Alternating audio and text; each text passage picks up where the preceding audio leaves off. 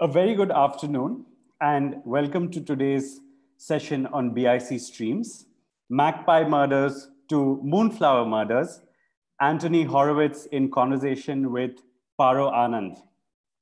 Uh, this is the first session as part of our World Lit series that we are doing in collaboration with the Bangalore Literature Festival. Thank you so much for doing this for us, uh, BLF. Uh, before I hand it over to Sri Krishna from the Bangalore Literature Festival, a few quick instructions. Uh, for those of you who are here for the first time or are not on our mailing list, do sign up or follow us on our social media pages, Facebook, Instagram, and Twitter. Uh, you can read the bios of today's panelists on the chat box that you will see at the bottom of your screen. Next to the chat box is the Q&A section. You can type in your questions in the Q&A box. For those of you who are watching this session on YouTube, you can type in your questions in the comment section and we will ensure that uh, it's asked in the room here. With that, uh, thank you again, Sri Krishna and the Bangalore Literature Festival. And thank you panelists for joining us today and audiences. Uh, over to you, Sri Krishna. Thanks, Raghu. Welcome, Anthony. Welcome, Paro. Uh, delighted that uh, you're doing this uh, for us. Uh, we're we've the Bangalore Literature Festival started in 2012, and uh, since then we've pretty much been a festival that popped up once a year.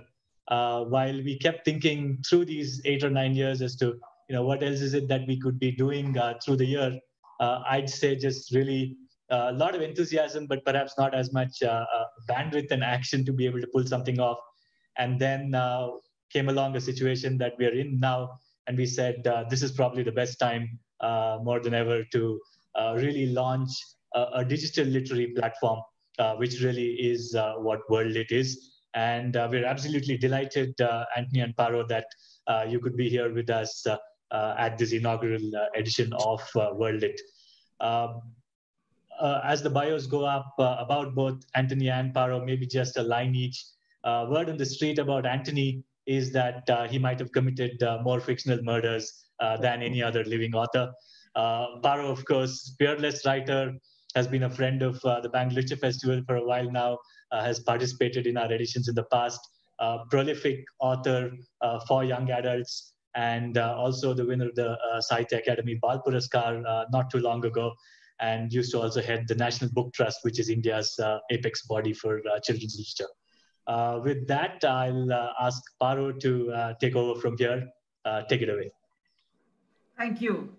and thank you so much to the Bangalore International Center and for the uh, Bangalore Literature Festival for putting this together and inviting the world to come in uh, to meet us.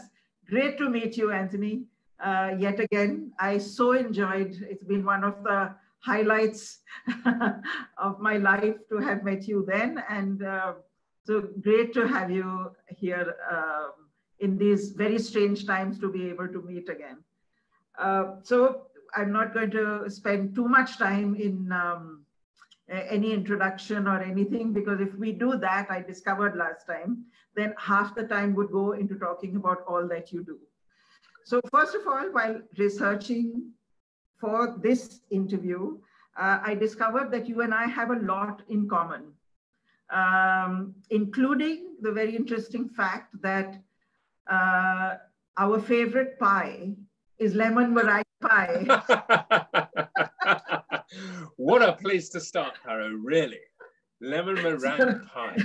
so we have a lot in common, but there's one essential difference. My books don't sell in the millions. In the multi before you go on, Paro, let me just say two things myself. First of all, I want to also thank the Bangalore International Festival for bringing us together. It is so important, particularly at this moment, that books and literature and reading should have their place, that we should be able to come together, even if it's only on a screen. And secondly, I just want to say on a personal level, but it's absolutely lovely to be talking with you. We got on like a house on fire when we first met. I think it's true to say that we're friends. You also know I'm a great admirer of your work. I can't imagine anybody I'd be happier talking to on this slightly damp Saturday morning here in England than you. So I'm very, very happy to be here. Thank you so much. Thanks, Anthony.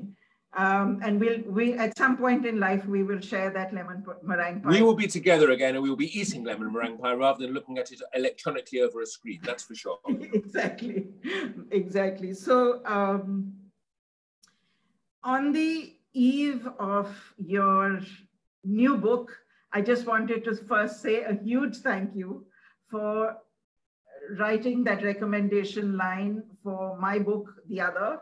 I'm going to oh, yep flash it here and where Anthony uh, gave a very beautiful uh, recommendation line. Uh, so in this very strange time, Anthony, uh, how is COVID treating you? Uh, how is the lockdown treating you personally and also as a writer? Well, first of all, personally, I'm very fortunate that my family has been well, and I'm actually living in lockdown with my family. Uh, mm. We have a slightly odd arrangement because I live in a sort of three flats, and the two flats under me belong to my son. So it's one building. So I can see both my older son, my younger son, girlfriends, their girlfriends, not mine, I hasten to add, uh, and other friends who are in the building. And we have barbecues on the roof, and it's all quite, mm. it's quite pleasant. And I have to say that one of the strange things is, is that although obviously this is a terrible thing that has happened to the world, and I fear gravely for the consequences of the future, I think it is also true that there have been some wonderfully happy times during it. I myself am less stressed, less depressed than I have been for a long time. And I think that it's a learning curve of how much there was in my life that I did not need. I think that's true also of, of the world, actually, in a way, that when you are in London and you look out and you can see unpolluted sky for the first time, when the River Thames, the water is clean, when you can breathe air that doesn't make your throat hurt, you know, you suddenly realize that actually there is a better world within our grasp when we come through this, if we're ready to take it. On a professional level, I've been very busy. I've been writing every single day. Um, and people think that it should be no different. I've been in self-isolation as a writer for, for 35 years, but it is different because writers, and you'll know this, Paro, we draw on the outside world. We draw on life. We draw on vitality. Writers, in a way, are vampires. We suck in the energy of those around us. And when the streets are empty and when there is no energy there, everything becomes a little bit more difficult or a little more peculiar. It's not the same. And um, I have to say that whilst on the one hand, I hope that we learn the lessons from what is good out of all this, on the other hand, I can't wait until things get back a little bit more to normal. Thank you. Um, this space where you're sitting, is this where you sit? Right? This is actually the spare bedroom, and what I'm sitting on is a what I'm sitting on. These rather weird trees you can see behind me are actually a bed. oh. on the bed uh, because my wife is in the other. My wife is in the main room. She's doing another Zoom call for for a theatre that she's involved with, and um, so she sent me in here today. wow. So that that that's the stuff of different dreams to have these. It's, these, this bed, I tell you, if you sleep in this bed, you have very strange dreams. It's one of the weird, one of the one of the weird things about it. I'm sure. So has the landscape of your day as a writer changed where it's uh, what an interesting question i think look i work about 10 hours every day anyway um, I'm, I'm, I sit in a, a room, my office upstairs, and, uh, and I work there. Um, what has changed is that everything seems to take longer. Before, my work was very bursts of energy and, and a hard focus. Um, now, because there is nothing else really in the world to do except for the, you know, walking the dog and things like that, mm. the work seems to sort of stretch itself out. So, so yeah. what would have taken me an hour takes me now 10 hours. Uh, but at the same time, uh, the quality of my work has been good, I think. I mean, you know, I'm, I'm pleased with the fact I've been writing, I, I don't know if you're aware of this, but I have a new children's book, which you can read online it's on my website, anthonyhorowitz.com. It's free of charge. It's, a, it's, it's my gift to young people who are in lockdown. And it's a comedy novel. It's a Diamond Brothers. The, the story is called um, Where Seagulls Dare. So it's where eagles dare, but it's where seagulls dare, which these books are all sort of jokes on films. And what's interested me is that even with all the worries around me and even in this vacuum, the jokes have been coming. I'm writing good jokes. Mm. So I'm very happy uh, with, with the quality of my work. And, and and I have achieved a lot. I'm kind of relieved to hear that it's taken taking everything seems to be stretched out because just this morning I was sitting with a book and I'm thinking, why is it taking me so long?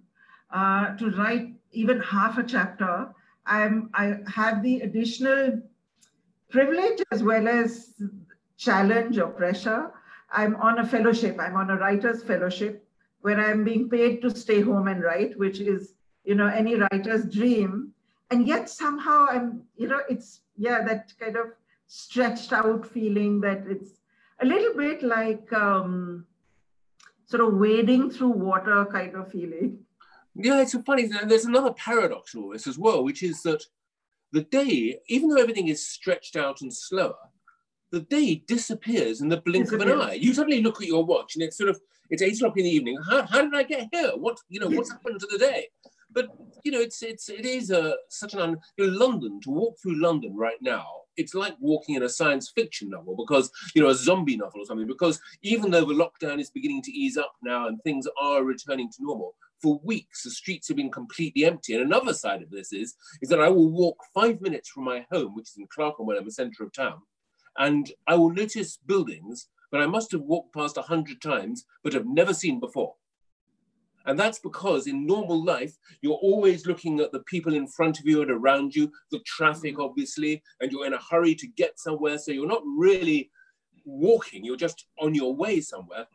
Yeah. But now I can look at the architecture, and I can say, wow, that building is beautiful. Why haven't I seen it? When did they build it? And, and of course, it's been there for 500 years.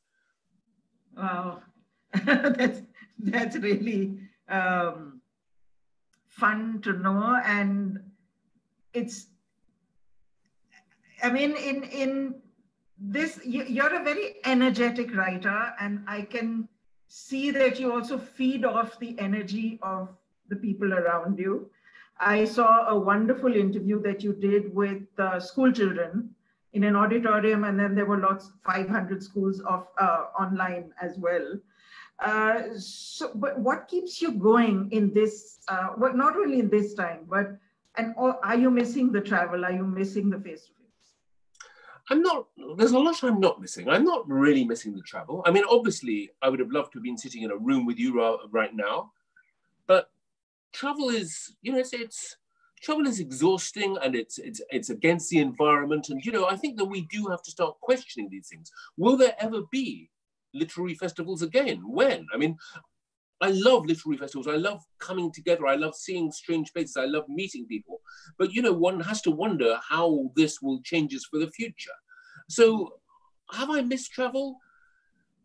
Have I missed restaurants? Have I missed theatres? Yes and no is the answer. Mm. You know, it, it is because I've gained things. I've gained time with my family. I've gained time to enjoy meals in the morning now, when I wake up, instead of rushing up to my office, I read for an hour. And I'd forgotten the pleasure of lying in bed with a book and starting the day with, you know, with, with some fiction and, and such. And so I'm listening to, you know, in the bath, I listen to classical music instead of listening to the news. It's little changes to my perception to my life. And they're all to do with books and, and, and arts and such that, that, mm. are, that, that are largely beneficial. As I say, one has to look, I think, to the silver linings. You know, we have. We, I hope we're not going to talk about America and what's happening over there because there is a sense that the world is collapsing around me, and, and I have to try and fight against that. And, and my answer to that is in conversations with the likes with like we're having now, in books, in my writing, in my work, in the in the things that make life worth living. Yeah, nice. Yeah, I. So coming to your your kind of writing, uh, you write basically murder mysteries. And by the way, I've written a murder mystery myself. Uh, with a group of women writers. With, they, we published a book called She Stoops to Kill. Very good. Women committing murder. Uh, and mine came out of a moment when I'd had a big row with my husband. And I had. Did you kill him? Huh? Did you kill him? I went for a long walk, which is how I work out thing. And by the time I finished walking nine kilometers, I was desperate for coffee. I sat down with uh, coffee and my notebook and wrote about a woman who wants to kill her husband.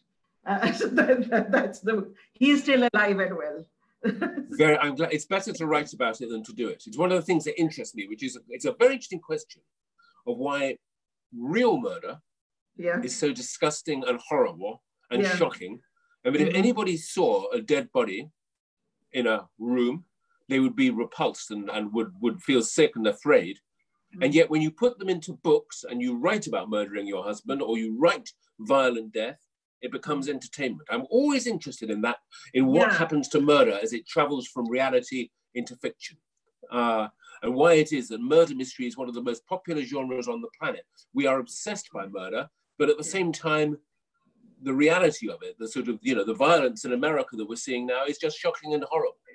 Yeah. Always interests me. So do you have an answer? Have you found some way to puzzle that out? I talk about it a lot in my books. I write about it. I, I think there are many, many answers to it. I mean, I think that the joy of writing murder mystery for me is that it is the fastest way to connect two people in a way that is uniquely interesting. If I murder you, and indeed I have got an idea for a murder that takes place over Zoom, but that's for another day. Um, why have I done it? What are the reasons why I would kill you or you would kill me? And as soon as you start asking that question, you are asking questions about our relationship. You're not asking questions about violence and death. The murder in a murder mystery is just an excuse to explore character. But at the same time, because murder, you don't murder somebody because you're a little bit upset with them or a little bit angry with them. You mm. do it because your emotions are very big and you are you mm. are in an extreme place. So you're talking about extreme emotions, which is also interesting. You know, it, it's powerful and it's bigger than life. So I think those are some of the reasons why. But also, I've, I've said this before, I think, in my books, that a murder mystery, at the end of the day, is a pursuit of truth.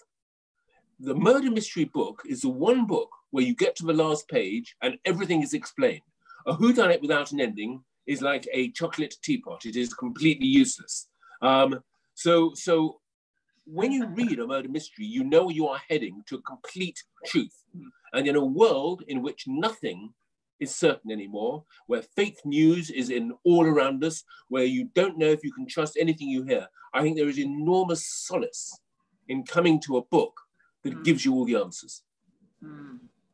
Which uh, skips me over many questions, which I have them in a very orderly fashion. But because you brought this up, you do have in Magpie Murders uh, the missing last chapter.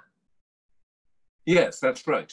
Yeah. Um, so, That's exactly right. so the- ju- and ju- the- just, the- the know, as you said, character—it's it's a, the, uh, it's the, the feeling of a chocolate tea uh, teacup. It's it's useless, and yet there is in Magpie Murders this the missing last chapter, which is so, so interesting. I found it is fascinating. Could you tell us a little bit about how you came to that very fascinating idea? Well, Paro, the first thing to say is, is that ever since I began writing, I have been terrified of one thing. I'm not frightened of dying, but I am frightened of dying when I'm at the very end of a book that I'm writing.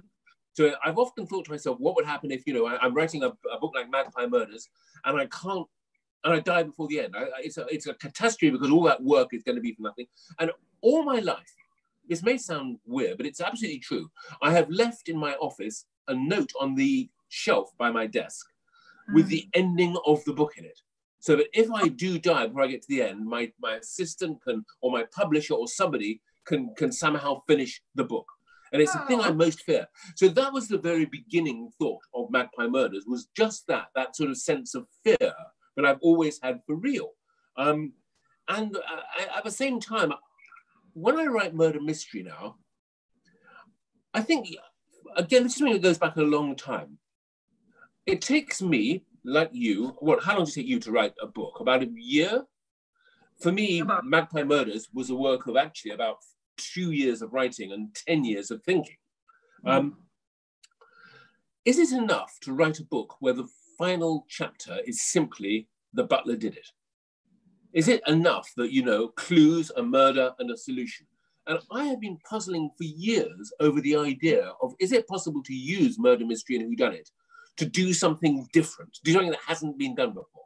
So to write books about murder mysteries that are themselves murder mysteries with devices like a missing chapter, to me makes me smile. Look at my Hawthorne series, the other set of books I'm writing. The word is murder, the sentence is death, and there'll be a new one next year.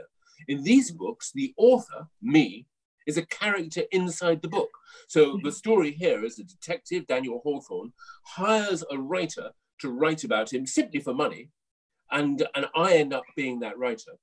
And what it does is it takes the whodunit form and turns it on its head because normally Agatha Christie, Arthur Conan Doyle, Dorothy L. Sayers, whoever, you are in charge. You are on the mountain. You know everything which is happening in the book. Before you have written the first word, certainly this is true for me, you know who committed the murder.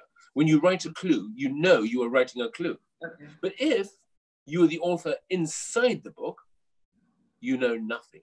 You are the most ignorant, the most stupid person, or at least I am the most ignorant and the most stupid person in the book. So what I'm doing here is taking the whodunit form and absolutely turning it upside down. And to me, that's a smile. So yes, you get the clues, the red herrings, the suspects, the, mm. the revelation, you get the fun of it. But I hope you get something more. And that's what I'm trying to do with these books. I mean, it, this was such a brilliant thing to have this fictionalized version of yourself. And immediately, as I read it, I had that moment saying, damn, why didn't I think of this? well, it's funny because when I when I pitched the idea to well, how it happened was that my publishers asked me to do a series of books. You know, they wanted because I think the publishers, as you know, do find it much easier. The Poirot series, the Holmes series, the the Rebus series, whatever it's going to be. And I began to think about well, how can I do a series of books without, as I say, just becoming formulaic. And then, in a, in almost actually the same day, this idea fell in my head. But my publishers were quite nervous of it because was it going to be egotistical? Was it going to be all about me, me, me? You know, I'm mm. the hmm. best writer. Is it going to be that? Is it going to be promoting myself? And is it going to be settling scores with people that I don't like? And I had to think about it carefully, but and and, and to persuade them that I would avoid the obvious traps. That the the character who is me in the book, it's not about me. It's about the detective. I'm just Watson. The book is about Sherlock Holmes. And when you think about it, nobody knows very much about Dr. Watson. He's just the narrator. So that's how it works in the books. They're, they're not ego trips. They're not sort of banging my own drum. As I say, I'm the most stupid person in those books. And I just follow Hawthorne around until he solves, you know, in the hope that he'll solve the crime. Because if he doesn't solve the crime, I won't have a book. I found him a very interesting character, fascinating character. And I, it left me wanting to know more about the uh, fictionalized Anthony. Um, well, it didn't come across to me as the most stupid in the book. I'm, I'm, well, my my wife is watching very carefully. and She keeps saying, "You're not putting the family in those books, Anthony. I'm not going to appear in it." She's made a couple of brief appearances, but she she's standing there with a with a there'll be a, there'll be a murder in the Horowitz household if I write too much about her. so talking about ego and also, uh, you know. Did, did you wasn't it intimidating to be writing um, for the estate of Arthur Conan Doyle and um, Agatha Christie writing Bond? Uh, was it intimidating? Um, I wouldn't say it's intimidating. It is challenging. I think when you start to write a James Bond novel or a Sherlock Holmes novel, the first thing you have to understand is that there are hundreds of thousands of very passionate fans of those books. Mm-hmm. And they're not fans of mine, they're fans of those books. Yeah. And my first thought is, I don't want to write a book that annoys them or disappoints them. Yeah. So that's the first challenge. It's got to be something that is true to the reasons why they love those books. The second thing is, is that I have to acknowledge that Arthur Conan Doyle and Ian Fleming were both amazing writers. I mean, they are great writers. They are bigger and better writers than me.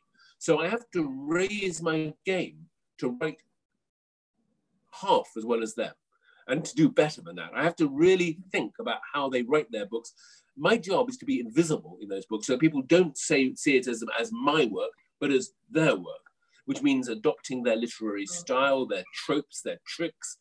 And, and all of that is challenging. When I was given the um, Sherlock Holmes book to write, uh, the House of Silk, as it became, mm. I remember I didn't sign the contract until I'd written the first chapter. And I sent the chapter to the Doyle estate, to the agents, to the publishers. And I said, Is this good enough? And they said, Yes, it is. And then I wrote the book because I didn't want to let anybody down. That's a challenge. But it's not, what was the word you used? It was, um, I can't remember the word you used in your question.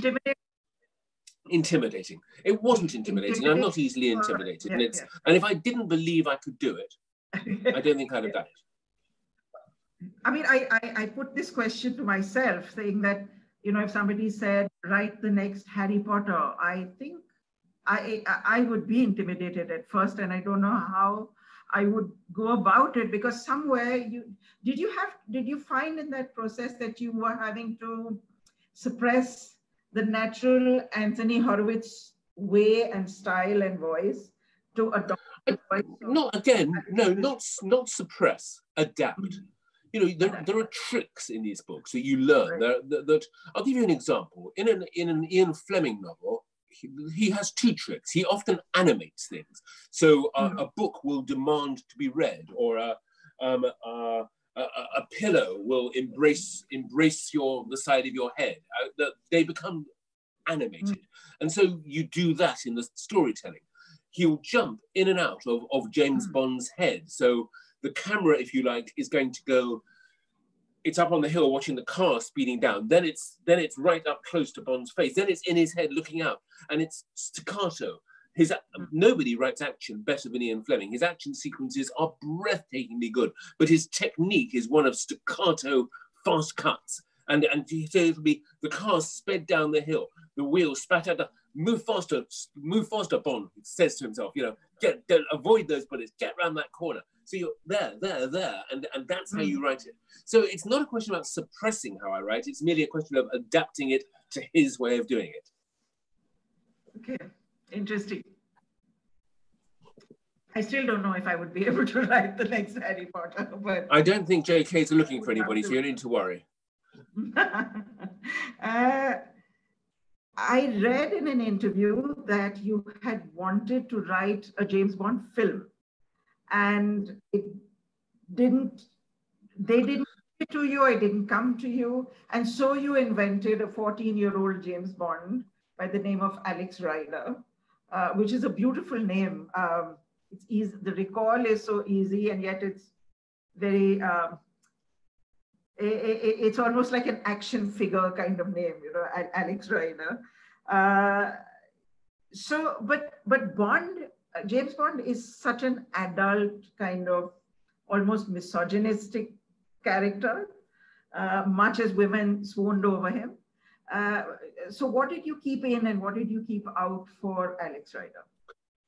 Um, Alex Rider was definitely inspired by the Bond films. And I should mention incidentally that just yesterday he was released on television. An eight-part version of Point Blank uh, was oh. released on Amazon June the 4th. And um, and uh, I've just been working up this morning to be reading the reviews in the papers and all the remarks on social media. I didn't write the scripts, but um, it was a big day for Alex. And it was interesting that the comparisons between the TV were not with Bond, they were much more with Jason Bourne, which I think is a good result.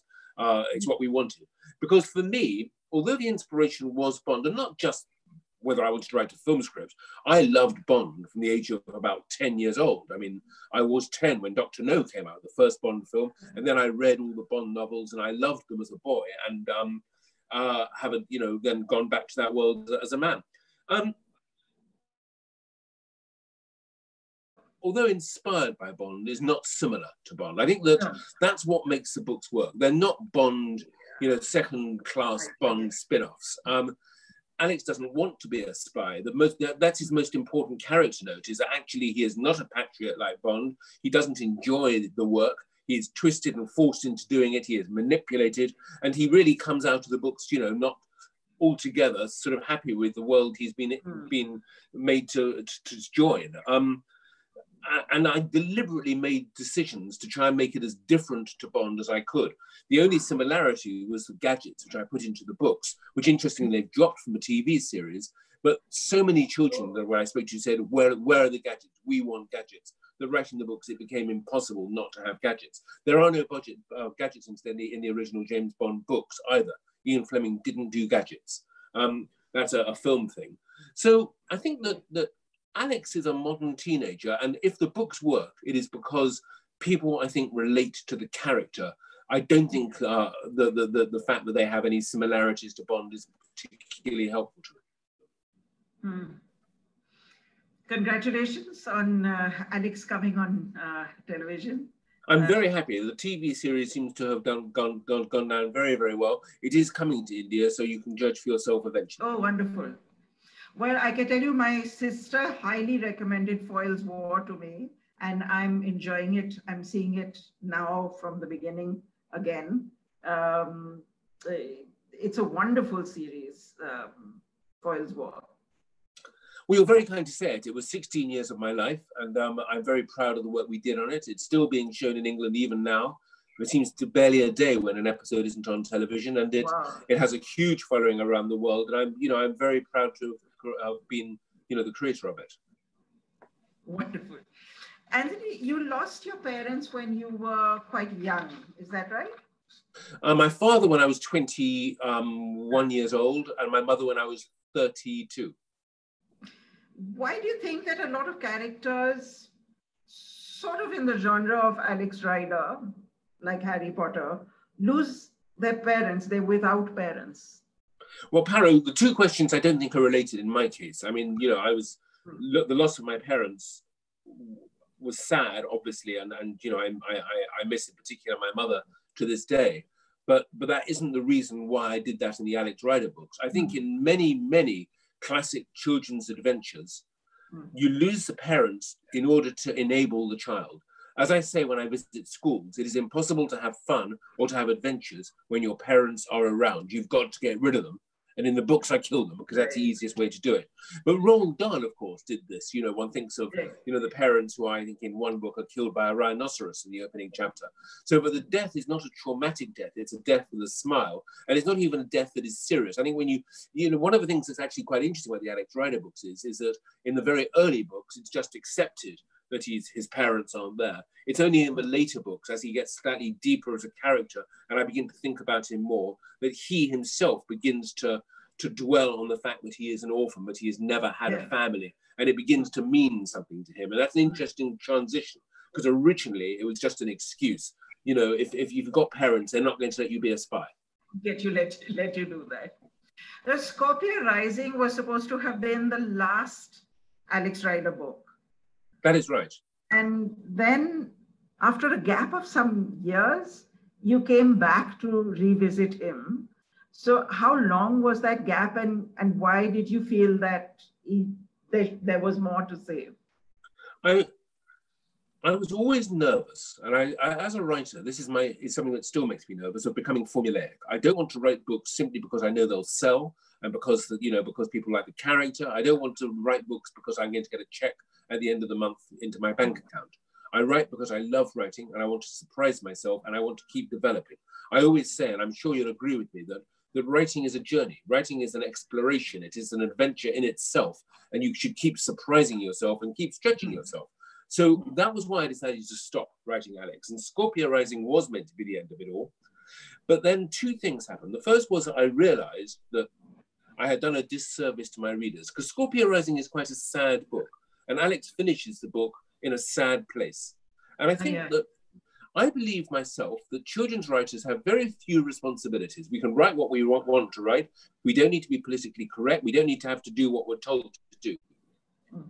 But I do think we have one responsibility, mm. and that is it's to be positive, to be optimistic, to leave children with the belief that the world is going to be a better place and that it is their world, because of course it is. We're old, it's their world. So I felt I'd done them a disservice. At the same time, my publishers wanted to put out a collection of short stories, which eventually became a book called Secret Weapon. And mm. I went over some old stories and then I began to rewrite them because they weren't good enough. And then I thought they weren't enough, so I thought I'd better write a couple more. And in doing that, I realized actually I'd missed Alex and that there was still plenty to write about and that they were fun to write and that I wasn't trapped and they weren't going to be predictable. The story I wrote that really persuaded me was Alex in Afghanistan, which has an action sequence which still makes me smile at the end of that story, the way he escapes from the mountain citadel. Um, I won't spoil it. It's, it's, it's just a fun idea. And then suddenly I was back writing Alex again. And so Never Say Die came out. Even that mm. title, incidentally, is trying to cheer you up. Scorpio Rising yeah. is down, Never Say Die let's get on with this. And then recently, Nightshade came out um, just uh, in April, sadly, in a rather sort of strange world with no book launch mm. and no party and no signings and nothing. Mm. But it's, I think, the best of all the Alexes. I think I'm so glad I wrote it because, again, The action in it is so, the, the last chapter, I was talking to my wife about it this morning. It is such a film. You know, she's got, we've got to put it on the screen one day because it's a James Bond stunt to outdo anything you've oh. ever seen in Bond. Oh, I look And researching it, researching it was enormous fun. Uh, coming up with it and then researching it and making it work. Wow. So the, I'm just going back to something that you said a little while ago, which was death with a smile. And you've, you've said two in, very intriguing things that have stayed with me. One is um, violence with a smile. And the other is that writing and reading are telepathy. Uh, uh, so, I mean, writing uh, and reading, sorry, I missed that last word. Writing and reading are telepathy. Okay, yes, yes. Well, they're two separate things. I mean, let's talk about violence first. I'm looking at the images from America, the casual violence that the police are putting onto actually everybody now, not just black people, but white people too. And it shocks me, it disgusts me, it's horrific. It, it's, uh, there is nothing funny about violence ever. So when you talk about violence with a smile, what do you mean? I think you're talking about taking something out of violence or putting it into a context that somehow neutralizes it. Um, at the end of Eagle Strike, the main villain, Damien Cray, is pushed out of a plane and sucked into the engine of the plane and minced up. Now, if I filmed that on the screen or if you saw it happen, it would, could be quite disgusting and sick making and horrible. But when you realize that uh, in that chapter, Damien Cray is pushed out of the plane on a tea trolley, there's something about, there you go, you're laughing, you're smiling. There's something about it that neutralizes the reality of that violence. Added to which, because it's in a fantastical book, which you know is a sort of a children's book or a young adult book, which is not really the real world, you can, you can enjoy it. So when I write violence, I'm always looking to somehow neutralize it, to take something out of it. And it's what I began by saying about murder in real life versus murder in books. Violence in my books should never be upsetting. Violence in real life always is. So that's the difference. In terms of the other comments you made about telepathy, it is it's simple. I've always had the belief that that reading, and one of the reasons why reading is so valuable to young people, is one of the most creative things you can do. It is not a leisure activity. It is actually an activity that demands enormous creative prowess. So when you read a book, you are taking all these digits and your brain is putting them together into words and the words into sentences. You're making sense of those sentences and of the paragraphs and you're remembering as you go along. So already there's a certain amount of mental activity. But on top of that, you've now got to visualize everything. So when I describe Alex, you see him. You see the city where he lives. You see the other people around him. You are building a world.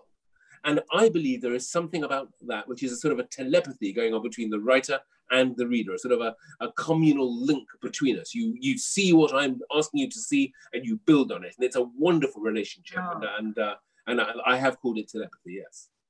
I'm going to use that, Anthony. Please do.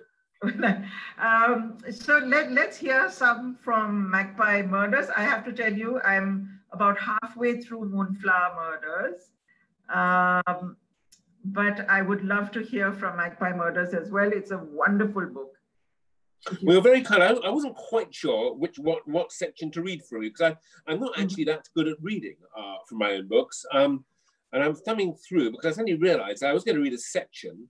Um, where, let me see what I could do. Hold a second. It was a little chapter here. Can you talk amongst yourselves while I try and find the section I want to read? Yeah, um, you. Um, I, um, I can share with you one while Anthony finds the uh, exact spot that he wants to read from. I can share. he was a big Tintin fan and such a big fan that he actually has a secret passageway in his office. Is that right? That is absolutely true anyway, here's a section. Here is a section. Um, this okay. is a chapter. I'm just going to read it. It's about a page and a half, not very much. Uh, it's called He Used to Hide Things. And it's talking about um, Alan Conway, the author of the book inside the book, who used to hide things inside his book for his own amusement. And it also illustrates, I hope, the idea of using a whodunit to discuss things that are about books and literature. Hmm.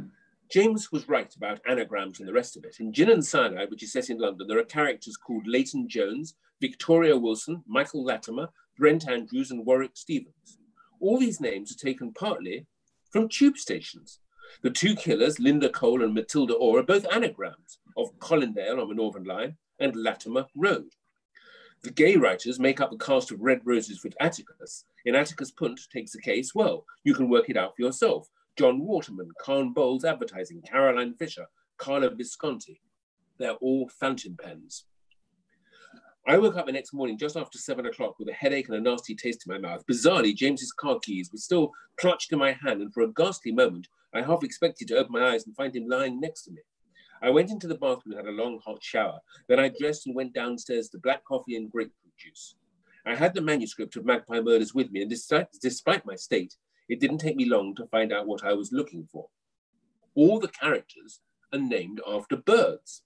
When I'd read the book for the first time, I'd made a note to tackle Alan about some Magnus Pye and Pye Hall. The names had struck me as a little childish, old fashioned at the very least. They felt like something out of Tintin. Going through it again, I realized that almost everyone, even the most minor characters, had been given the same treatment. There are obvious ones. The vicar is Robin, and his wife is Hen. Whitehead is an antique dealer, Redwing a doctor, and Weaver an undertaker. They're all fairly common species, as are Crane and Lanner, the estate agents in Bath, and Kite, the landlord of the ferryman. Some are a little more difficult to pin down. Joyce Sanderling is named after a small wading bird, and Jack Dartford after a warbler. Brent the groundsman is a type of goose, and his middle name is Jay. A 19th century naturalist called Thomas Blakiston had an owl named after him, and so on. Does it matter? Well, yes, actually, it worries me. Character names are important. I've known writers who've used their friends while others have turned to reference books. The Oxford Book of Quotations and the Cambridge Biographical Encyclopedia are two. I've heard mentioned. What's the secret of a good name in fiction? Simplicity is often the key. Harry Potter didn't get to be who he was by having too many syllables. That said, the name is often the first thing you learn about a character, and I think it helps if it fits comfortably, and so on and so on. That's enough reading. But what I'm illustrating here is that this is a book, Mrs. Magpie Murders, and Moonflower Murders, of course, which is the sequel coming out in August, are books that both give you a murder mystery and give you some discussion about murder mystery. The main character, Susan Ryland, is an editor after all, so she knows books inside out. And I love the fact that you could both solve the crime and have a think about how crimes in books are constructed. Yeah. So did you know when you were writing Magpie Murders, when you started, that there was going to be a sequel? No, quite the opposite. I always assumed there would only be one in them. And what ah. happened was, was that my publisher, again, the book was, of course, very successful. It's probably been my most successful book, Magpie Murders. Mm. And my publisher said, look, we would really love another one, particularly as because the main character is a woman, which yeah. I lo- I'm not, I don't often write women as main characters. I, I find it, I won't say it's difficult, but I find it more, it stretches me more. Let us put it that way. But Susan is a good character and, and a strong character and not a classic detective. As I say, she's an editor. So I was very happy to return to her. And then it occurred to me that I could actually do a second book, that there was a second one lurking in there. And so Moonflower Murders came, came to mind, even though I should say that it works in a very different way to Magpie Murders. There's no unfinished book this time. There is a book within a book. There is a book written by Alan Conway set in 1955, which is a murder mystery. And it does have within it a secret, which is something to do with the present day but it doesn't. But it's but it works in a it's a, it's a completely different approach to the same idea. So I'm very happy with it. And it's uh, it's you know those people who've read it so far have been very positive. So that's yeah. good. Uh, one last question, and then we'll I think open up uh, to people who want to ask questions. Uh, what's next from the devious mind of Anthony Horowitz? Uh, I think I mentioned it already that I'm going to do another Hawthorne novel next year. So there's a third one which I, have just begun to think about. Of these, of these ones? That's the that's a Hawthorne Horowitz. Is where I'm the character in the book. Daniel Hawthorne is detective. There are going to be ten of them in total, ten or even maybe twelve. So number wow. three is the next big book I'm going to to do. Um, I'm as I said writing the Diamond Brothers book. That's uh, where seagulls dare. Uh, do look it out, AnthonyHorowitz.com, and um, and I need to finish that. And I'm writing you can probably see that I'm wearing this shirt, which is um uh-huh. Quibi. I'm writing. Uh, Quibi is a wonderful um oh. uh, and very interesting American TV um platform. Except it's not for televisions; it's for mobile phones. And I've written a murder mystery for them. So um, oh. that's uh, so I'm working on that. Wonderful. So I think, um, Raghu, shall we open up? I, I can see there are quite a few questions lined up already. Yeah, uh, yeah no, such a delightful conversation, uh, Anthony Paro. And uh, there's a whole bunch of questions that have come up. Uh, maybe what we'll do is um, uh, give folks a chance to actually ask the question rather than one of us reading out. Uh, so I'll start with Arun Raman. Arun, if you could go ahead and ask your question, please. Okay. Am I audible? You, you are. are. Yes. Uh, Mr. Horowitz, may I first of all say that I consider the House of Silk the finest Holmes pastiche, along with uh, Nicholas Meyer's The 7% Solution. So, uh, Aaron, that's, that's very kind of you. Thank you. And may I say also that I loved The 7% Solution. I think it's an absolutely wonderful book. So I share your, share your enthusiasm. And I'm very happy to be, to be linked in with that title. Yes, absolutely. And my question is really about the uh, the adventure slash thriller as a genre than a whodunit.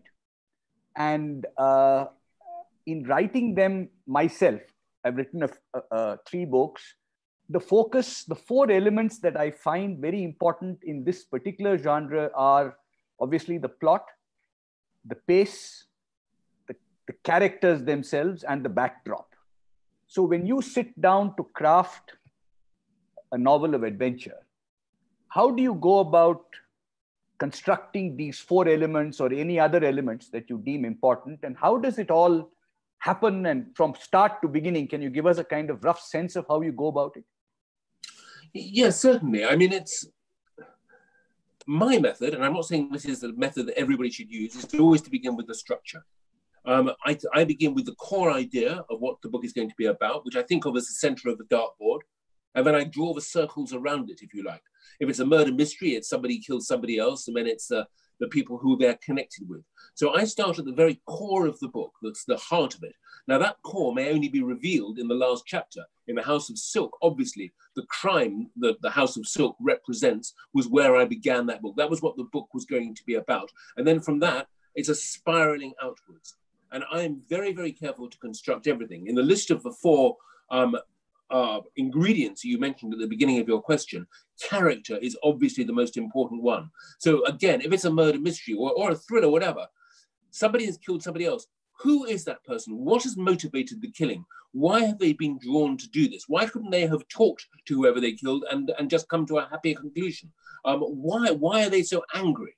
Who are they? Then you ask, who are they married to? Who are their children? Who are their friends? What is their world? So it, it's always a, a, blossoming outwards. They think, I cannot write a book without doing that work, which may take me longer than the book itself, than the writing of the book. But to me, the structure, the road plan of the book is where I begin. Uh, and everything else fits into that. You know, in terms of instead the action and adventure, you know, if I'm writing a James Bond novel, I've got the, the beginning, I've got that core idea that he's going to stop somebody from blowing up a, a, a, a rocket in New York, which is the plot sort of of, um, of Trigger Mortis. Uh, but then I might not know what the action is going to be. Bond is captured in chapter seven and is threatened with something nasty. It's only when I get to chapter seven that I decide how he's captured and what that nastiness is going to be. And that becomes a separate thing. I always say that if you're planning a book, leave room to surprise yourself. If you can't surprise yourself, you won't surprise your readers. Hmm. Right. Thank you for your uh, question. Thanks. Thank you. Yeah, very, very useful. Up next, uh, we have a question from Shrabanti. I'll have her go next. Hello. Hello. Hello. Yeah, Shrabanti, go ahead. Yeah. Hi. Uh, hi, Anthony. I just hi, uh, wanted to say Hi. Uh, just wanted to say I'm a huge fan of, uh, you know, the Word is Murder series as well as Magpie Murders. Especially really loved Magpie Murders because of the book within a book kind of thing. Like it's probably my favorite literary genre. I mean, mm-hmm. and especially if it has a mystery in it. Um, I wanted to ask you something, and and uh, actually, uh, you know, both these books I mean, both these series have a slightly cozy murder mystery feel to them. I mean, of course, there is a troubled detective at the heart of the Word is Murder series, but uh, you know, it feels so good to read something like that. Much as I like my P.D. James and Tana French's, uh, you know, sometimes uh, procedurals just don't have that same feel. Do you think the days of the cozy murder mystery are over? I mean, and and why is like why uh, is the world overrun by police uh, procedurals and you know detectives with a troubled past? Um, well, thank you for your first, for your earlier remarks, which were very kind. No, of, of, course I don't think they're over. I mean, what we call the golden age of detective fiction, Agatha Christie, who is still a huge, um, you know, uh, selling novel, and, and P.D. James to a certain extent, and, you know, Ngaio Marsh, all the great names of, the, of those things. I like writing that type of fiction because I think that crime fiction is really interesting if it's cerebral, if, if you, if you mm. the reader, and the detective are in the same place, and it isn't a, an expert coming in with a spectroscope or some kind of fingerprint evidence or anything of that sort to solve the crime. I love the idea that you are on an equal footing. I am with Hawthorne, um, and, and that he sees things that I don't, but it, he doesn't actually get any extra help. Uh, from from outside. So, and I also incidentally like the sort of you know we've talked. Uh, I was talking earlier about about violence and and about um uh, you know about the world, the brutality of the world we live in. I quite like the fact that my books are a little gentler than that, but they are, if you like, an oasis from that. You know, I read books that are. Uh, here's a book I'm reading at the moment. I recommend it thoroughly, by the way. The Don Winslow trilogy. Um, uh, the, mm. the first one is called The Power of the Dog. The second one is called um, the um, oh god, the Cartel, and this one is called The Border. It's an absolutely these books are in, unbelievably violent and shocking and awful, and I admire them very much. And there are lots of books like this that are doing not as good as this, but there are many books in this genre. But I like a slightly gentler world. I am not that sort of person that really wants to, you know, in my books, I don't like having too much description of violence and, and un- unpleasantness, as I was saying earlier when I was talking with Paro. So, so I know I don't think it's dead. I think there's a very, very good place for it. There's room for everybody, of course. That's the joy of reading. But um, but but my little niche is a slightly sort of quieter one. Thank you so much, and thank you for thank you for your question and for your kind mark. Thank you. Thanks, Shravanti. Up next, uh, Timia, go ahead with your question. Hi, Anthony. Hi, uh, Timmy. Lovely to be talking to you. How are you today? I'm good. How are you? I'm great, thanks. Good.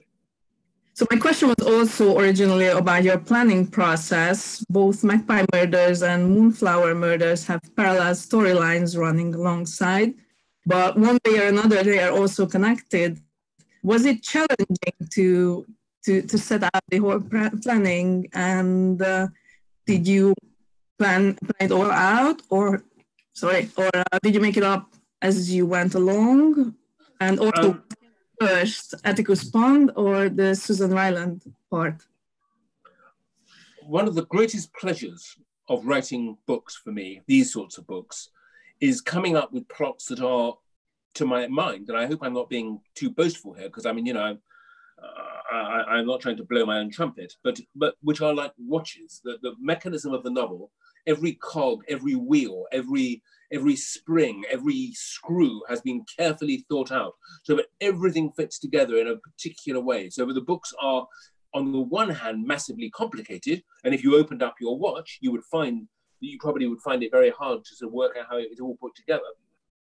But the, the result is actually very simple. You can glance at your watch, you know what the time is. And I think that's how the books are meant to work. But the mechanism is complicated, the reading is pleasurable and simple. And um, so I, I, I suppose that answer, I hope that answers your question because to me that the, the pleasure of the book is the complexity of it. And I, I always want one of my books to be guessable. If somebody tells me they guess the ending, although part of me is really annoyed, oh my God. And the other, there's a little voice that actually says, no, that's how it should be. It should be possible to guess. Agatha Christie's genius is that actually every single one of her books plays fair with the reader. Um, there is, she never wrote a book that, um, that, that, that didn't do that. Conan Doyle, on the other hand, regularly has um, Sherlock Holmes leave the page and go off somewhere and come back with the vital information that allows him to solve the clue. So the reader and poor Dr. Watson never had a chance. And although I do love the Holmes novels, that does quite annoy me. Does that answer your question? Yikes, I'm getting silence. Maybe because she was on mute. Thanks, Anthony. We'll, we'll jump. No, it's good. I want that. Um, I hope I answered the question. I, I, I know, Timia, we, we communicate on Twitter regularly, so it's lovely ah, to talk to her too. Got it. Uh, there's a question from Sneha Ganesh. Uh, if she's uh, still in the room, actually, I see she, she is in the room. Uh, we'll go next with uh, Aruna Kumar. Aruna, go ahead and ask your question, please.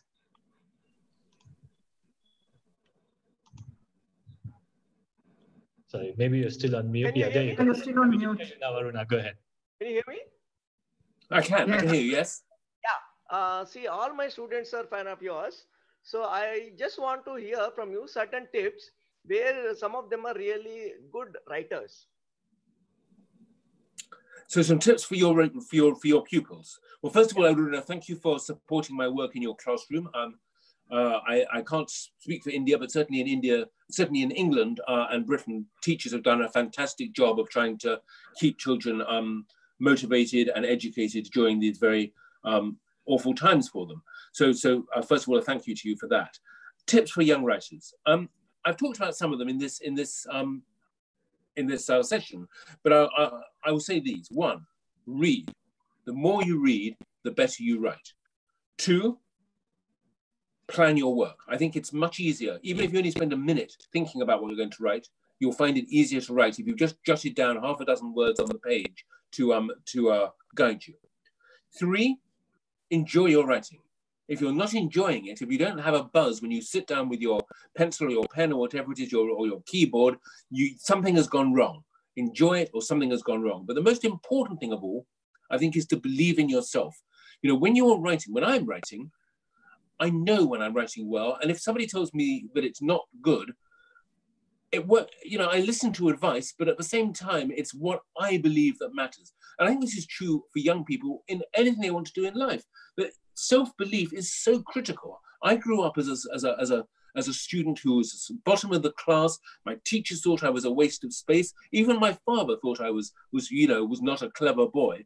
And yet always, always I believed in myself. And here I am now, you know, selling all these books and, and, and, and having the success I've had. Self-belief, that's what every writer needs. So that's just four little tips, which I hope will help you and your students. I, would like to add one more tip, which is very per pertinent to this session, because it's a secret formula that I follow called BIC. BIC, which doesn't in this case stand for Bangalore International Center, but rather for bottom in chair. Put your bottom into a chair and write. You just heard Anthony saying he writes for 10 hours a day. Um, I also try and write at least two hours, a minimum of two hours every day, no matter what. And if I can get more in there, great, but I don't always manage to, but at least two hours every single day. So BIC, put your bottom in a chair and start to write. Yes, that's great advice. Lubaina, I think, is next. Yeah, uh, let's hear from uh, Lubaina. Hi, how are you? How exciting to see Anthony and Paro. Hi. So lovely. I have a question, Anthony. Uh, what is, uh, you know, what is your favorite literary device to create tension and um, suspense in a novel? Um, I do you involve the reader? Do you, you know? Oh, Alfred Hitchcock, I think, explained this best. If two people are sitting at a table having a conversation, there's no suspense. But if two people are sitting at a table having a conversation and you, the reader or the viewer, know that there is a time bomb underneath the table, you have suspense. So my favorite device is to give the reader information that the character does not have. So the reader is saying, oh my God, something bad is going to happen, and the character is unaware of it. I mean, another example I give of this, a literary device, is that in a horror film, the most scary moment is when the hand reaches for the door. The heroine or the hero's hand reaches to open the door. And the scary bit is not the knife going into them, it is the knowledge there is something on the other side of the door that is going to hurt them. There is some monster on the other side of the door, but they are in danger. So I think that for me, the most fun I have is creating that awareness, that sense, that knowledge of something bad is going to happen. You, the reader, know it, but the character maybe doesn't. Very interesting. I love that. It's a difficult one to answer because a lot of my work is instinctive, but it's something on those lines.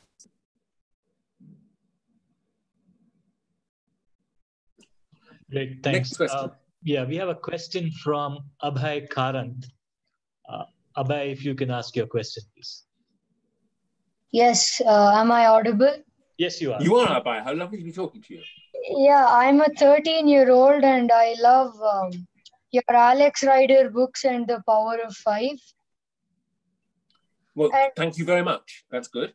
And my question was um, in Power of Five, where did you get the idea to write that series? Like it's a magical fantasy kind of book series, right? So where did you get the idea? Oh, Abhay, thank you very much indeed for contacting me, and thank you especially for um, mentioning a series which is less well known than the Alex Rider books. And I always say it's a very special reader who knows those books and likes them. So you're, I'm very grateful to you for mentioning them to me uh, in this talk.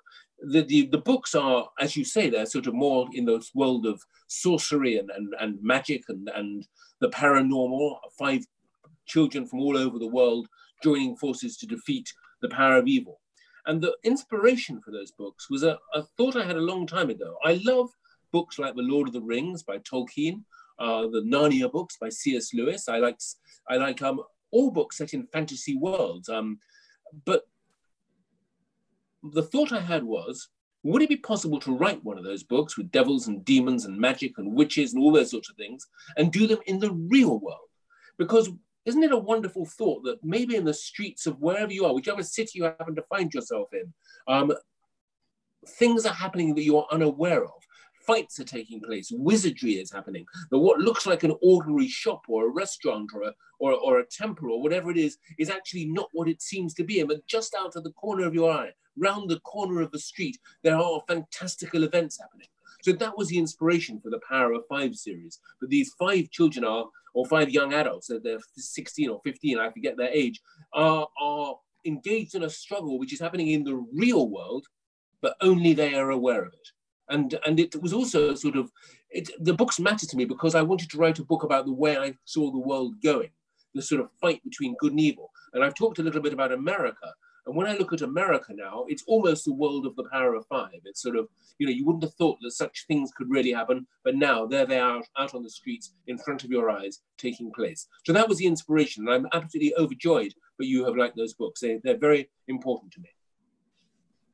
Anthony, when yeah. you started out, when you started out, you couldn't have imagined that all over the world there would be children and adults who were so familiar and fond of your work. Well, you know, see, one of the few things about getting older, uh, and which I am doing very rapidly, is that I meet these young adults now who are 30, 31, 32, some of them have children, and they read me when they were 10 years old. And, mm. and, and my work has been a part of their life for 20 years or more. And I, I find that very encouraging and reassuring. I think that, you know, when, when you look at life and, and our place in life, all you can really hope for is to try and make a, a small difference for good, you know, and I think that's what's great about being a writer. But at the end of the day, whatever people say about my work, I don't think it's harmed anybody. I've just done little bits of good. And like talking to that young boy just now who loves my work and the fact that he's, you know, uh, on the other side of the world and I'm here and we're talking on this screen, it just makes me feel good about humanity and about the way that, that reading and books and literacy not only bring us together, but bring out the best in us. And that matters to me. I think that's a wonderful thing. Absolutely. I think uh, all of us at the festival agree completely on that. Uh, let's go to Advaita Shamsundar. Advaita, if you could ask your question. Um, Hello? Advaita, there? Yeah. Oh, doesn't look like it. All right. Uh, we have another question from uh, Jane. Jane, if you're uh, still there. Uh, hi, Paro. Hi. Hey, uh, Jane, how are you? Good, yeah, hi, Anthony. Uh, my question to you is um, you write in different, you write different characters, different voices, right? From one of, I mean, from uh, Detective Inspector Barnaby, right to Alex Rider to the Diamond Brothers. How do you change your protagonist's voice when you're writing across different series? And uh, does the idea or the plot suggest which crime solver will solve which of these crimes? Two great questions, Sharon. Are you a writer yourself? I am, yes. I had a feeling I, you must be. Anthony, I, I, must, I, I just want to jump in here to say that Jane has a fabulous book called The Flyaway Boy, which is one of my absolute favorites, about not fitting in. Thank Wonderful. I love the title already. Um, I should look out for it. I should look out for it on uh, uh, and uh. Well, Jane, lovely to talk to you. Thank you for joining in my session. Um, the question you asked, um, the different characters, um, their voices. It's a very, very interesting question. When I write myself, uh, I often find myself, once I've created a character know the character, I feel almost like I'm the secretary in the room, jotting down what they say. I hear them saying it and I write it down as fast as I can before I forget what they have said. And I can hear how they say it because of course all of us have different ways of speaking and different different mannerisms uh, in our speech and and obviously if i'm writing sherlock holmes for example he speaks in a way that has a certain 19th century inflection uh, you know a, a, propriety a sort of a, a formality of language um, you know he he you, you hear his voice so i think that's the first part of your question is that i know the characters, therefore I hear them speak. And actually, if the dialogue is not coming easily, it means I don't know my characters well enough. They speak to me. Uh, the second part of your question, which is a really interesting question, I think I've ever been asked it, which is how do I know which plot goes with which character? I guess it's sort of, I think I open a box. Right at the moment, I am having to think of a third Hawthorne novel. And I know I have this rather acerbic detective and not a very nice man. And I know I have this rather foolish narrator who's going to follow him around trying to work it out for himself. And therefore, I'm searching for a plot that works in that box, in that environment. So it isn't a case of a story falls into my head. Um, you know, a, um, a, a butterfly collector is killed in his tower. Is that a Hawthorne story? Is it a is it a Magpie Murders story? Is it a you know, is it an Alex Rider story? It's I begin by defining the world in which I'm in when I start thinking, and the idea arrives fitted to that character. Does that answer your question, Jen? It does. Thank you. Good, good, good, good. Excellent. I should look out for your book. Up next, uh, Akshara Mahesh, I see you have a few questions, so go for it. Hi, I would just like to say I'm 14 years old and I'm a fan of your Diamond Brothers series. Um, so does the wit come naturally to you or do you add it in the middle? Does what come naturally to me? I'm sorry? the wit in your books. Oh, the wit. The, the wit. Um, the jokes just fall out of the sky. Have you have you read any of The Seagull Has Landed? No, not really. I haven't tried. Well, do look do look out for it. As I say, it's on AnthonyHorowitz.com. It's completely free, and there are five chapters out there. And I think it's got some really good jokes in it. Um, the jokes, again, jokes a little bit like Jane's question about the voices of the characters when you start with Tim Diamond, who is so stupid, and Nick Diamond, who is so smart, and these really bizarre murder mysteries that they find themselves solving, I sort of am inside the world. I'm not, I'm not sitting here thinking, what's funny, what's going to be a good joke. I just think like Tim does, and the jokes just fall onto the page. And as I said at the very beginning of this talk, you know, it's it's been a surprise to me, but the, the books have been so easy. This new one has been so easy to write, given that the world is so difficult. But maybe the answer to that is because I'm inside the book and I'm with Tim, so the jokes are just there. I don't sit down and work them out like a maths problem. If you get my meaning. Yeah, I do. Thank you. Thank you very much for joining in. All right, we're down to the last set of questions. These are um, from YouTube, so I'll just read them out uh, for uh, okay. Paro. Uh, there's a question from Vani Mahesh. Uh, I've read all your uh, young adult books and loved them. Uh, a few questions. Uh, what do you enjoy more, writing for kids or for adults? So that's the first one.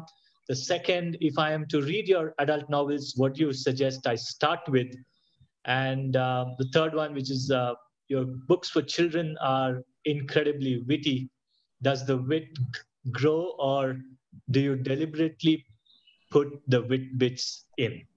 Well, I think the third question I just answered last time, the moment ago. Right. In terms of which do I like best, I mean, I like all my writing. I am. I love writing. I one thing has not changed in the 35 years I've been writing, and that is that I love writing passionately, and I love them all equally.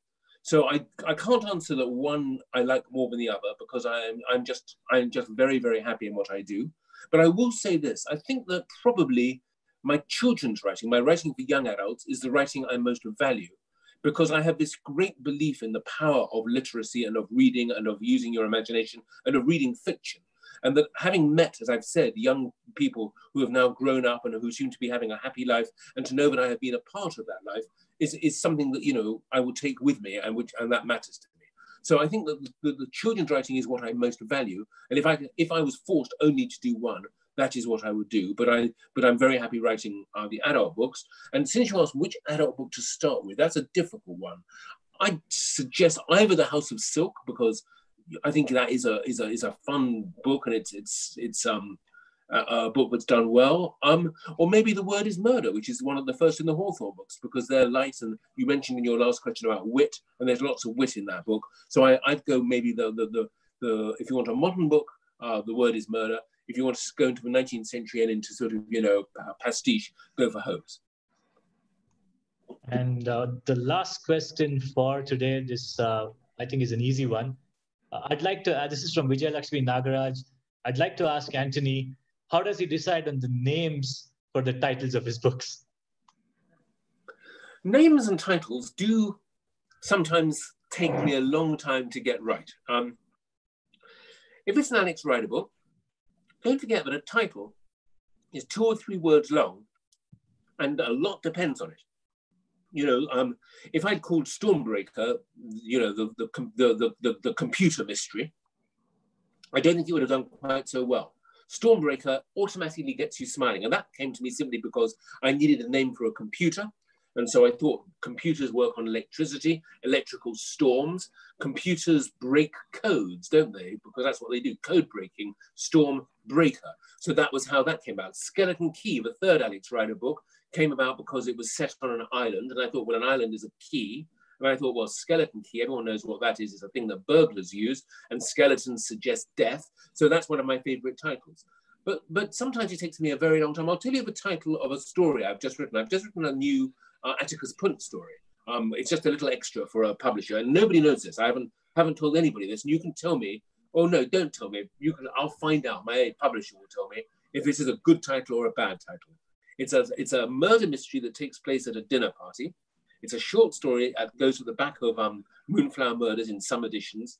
And the title I came up with, which I sort of like, was Seven for Dinner, Six for Dessert. Yeah, I'm getting a laugh. A smile. I'm getting two laughs and two smiles. And that just made me smile. And that's what a good title should do. So there you go. Can I just say before we stop this, how what a delight, Paro, as always, talking to you is just a joy and a pleasure. And I wish you all happiness and health and success. And to everybody who's been listening to this as well, you know, may you come through these difficult times with your health and with your and, and with your you know your, your well-being intact and to the organizers once again it is a fantastic thing you've done today for me anyway to, to allow me to connect with my readers and with paro and i just want to say thank you to all of you really from the bottom of my heart the, the feeling is absolutely mutual anthony and of course paro as well thank you so much for uh, doing this and for being part of uh, you know the inaugural edition of uh, of our world lit uh, series so the the launch really uh, couldn't have asked for uh, someone, couldn't have asked for anyone better than than the two of you. So on on behalf of Shiny, Ravi, Raghu, and myself, and of course the entire BIC team, the Bangalore Literature Festival team, and of course all of the audience that was there, particularly the young folks that actually joined us today. A big thank you to both of you. And uh, we'll do more of this and hope to uh, see you uh, hopefully in person soon, either in India or in some other part of the world. Uh, on that note, thank you, everybody. Uh, thank you very much. Goodbye. Thank you, everyone. Thank, thank you, you, Anthony. Thank you. Thank you, Anthony Paro.